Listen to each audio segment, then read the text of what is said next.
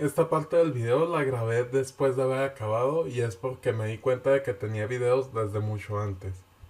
Y bueno, pues si quieren ver todas las estafas en las que está involucrada esta persona, pues aquí les dejo nomás esta parte que es importante.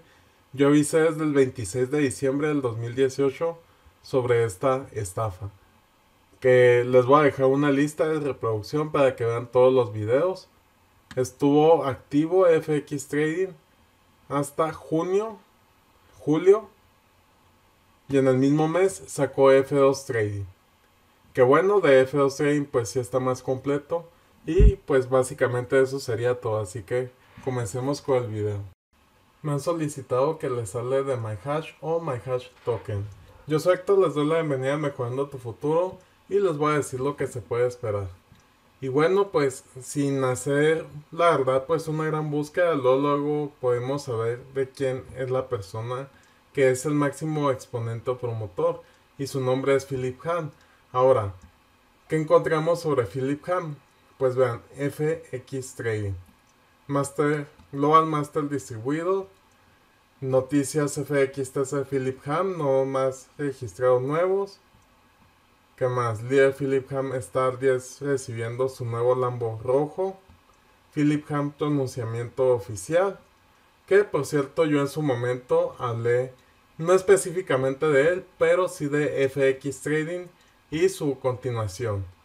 Que bueno, antes de mostrarles su continuación, Philip Ham pues estuvo detrás de F2 Trading.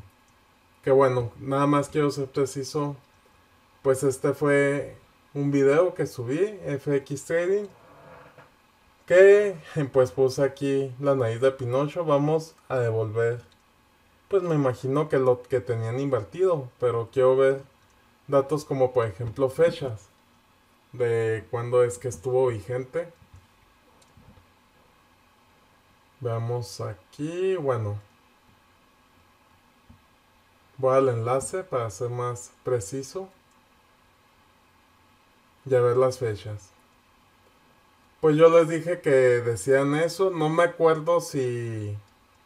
O sea, no ver el video que hice, pero no verlo para averiguar. Pues qué era lo que decían en específico, si les pedían más dinero, más fondos o no. Pero pues yo advertí de que iba a pasar esta situación. Que en 28 de junio del 2019, después de eso salió con F2 Trading, que había gente que me atacaba, que ya saben cómo son estos videos, de que la gente viene y, y se aferra, de que pues yo estoy equivocado. Estos dos últimos días me han pagado más del 2%. Ya fue entonces. Entre esos meses y sigo su contrato. A mí sí me están pagando. Pues, o sea, es gente que no le importa nada. O sea, a pesar de las advertencias, pues siguen, o sea, los defienden. Pero yo fui bastante claro de la situación y después de eso dejaron de pagar definitivamente y se pasaron a F2 Trading. Que bueno, si vemos un poquito de quién es esta persona de Philip Ham en behindmlm.com, si tiene un poco de antecedentes de él, al parecer no tiene mucho. Bueno, F2 Trading, esto fue en julio, veamos para qué fechas fue esto.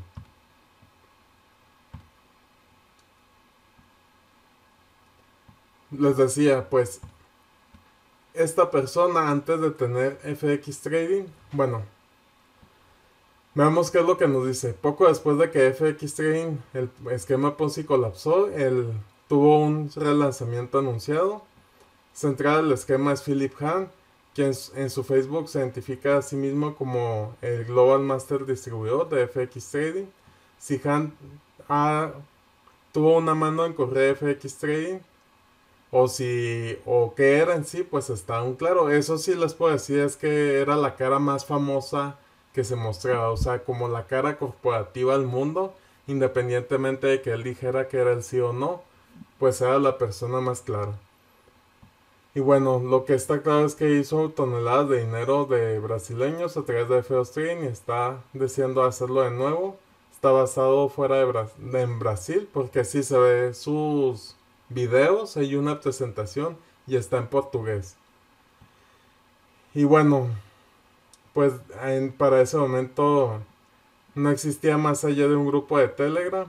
Y esta persona proviene de, pues sí hizo multinivel, mm, pues multinivel bien en Yeuni, sea un distribuidor, pero pues le gustó el dinero fácil y se dejó llevar por las estafas. Y bueno, para el 23 de julio, o sea, bien poquitos días después, salieron con esta estafa, yo advertí, muchos dislikes. Y bueno, pues de nuevo había gente que me atacaba, que me decía que, que no sabía de qué hablaba y cosas así, ustedes saben. Y pues a fin de cuentas cayó por su propio peso. Entonces, ¿qué podemos esperar? Otra estafa más que va a quedar mal. Que bueno, como recientemente sacaron los de Forsage, Tron Forsage, que ya ven que les digo que siempre dura mucho menos la segunda estafa pues eh, va a pasar aquí algo similar, porque primero fue FX Trading y después F2. Veamos para qué momento ya había información. Ok, se volvió scam. Y a ver qué más le puse de título. Entonces, igual, si ustedes desconfían, pues pongan el nombre de esta persona y pongan la palabra scam o scammer o estafador o FX Trading o F2 Trading para que vean los antecedentes. 4 de diciembre. Y para ese entonces, pues ya era sin lugar a dudas una estafa. Así que les dejo los videos en la descripción para que sepan qué esperar, que vean lo que yo dije en su momento, que vean que advertí. Y también hubo un grupo de estafadores vinculados a esta basura llamado el Proyecto 100K, de un cerdo estafador masivo que tiene su comitiva y los ha traído de estafa tras estafa tras estafa. Y bueno, ¿qué se puede esperar de estas personas? Lo mismo. Van a ir de estafa tras estafa hasta que no sean detenidos.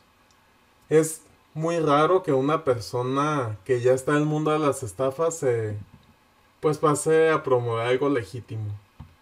Y bueno, honestamente vale la pena evaluar a MyHash. Sinceramente no considero que valga la pena. O sea, con ver que él es la máxima cara visible, pues en serio no pierdan su tiempo. Y bueno, igual es decisión de cada quien. Recuerden, siempre hay una estafa maestra o una primera y ya las que van cayendo o que son del mismo estafador cada vez van durando menos.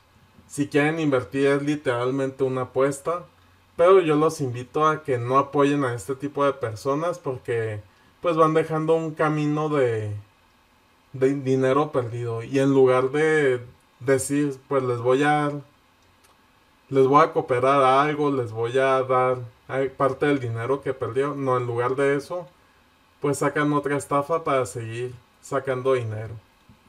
Así que, pues, les digo, es cuestión de cada quien, pero no me queda más que agradecerles por sus comentarios, suscripciones, deditos arriba y sobre todo por compartir. Como siempre les pregunto, ¿qué van a hacer hoy por mejorar su futuro?